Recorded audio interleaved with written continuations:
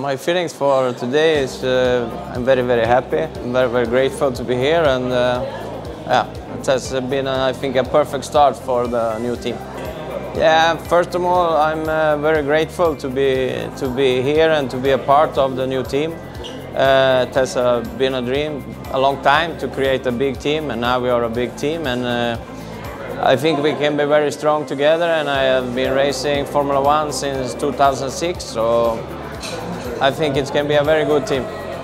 Today's press conference was uh, really exciting. I think there was a lot of expectation, uh, both from the local uh, communities and fans, and also from the international communities. We had so many journalists calling and asking who is going to be the team, who is going to be the team, and finally we can uh, announce it. So the eye of the international fans was here today in Binh Dinh with us.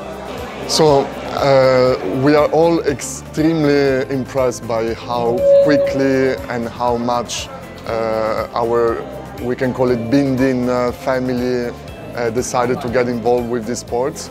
I believe the next step, which is natural, is to uh, build up a racing community here, uh, introducing the sport to the local young talents, and why not in a couple of months have a Formula One uh, Binh Dinh uh, pilot.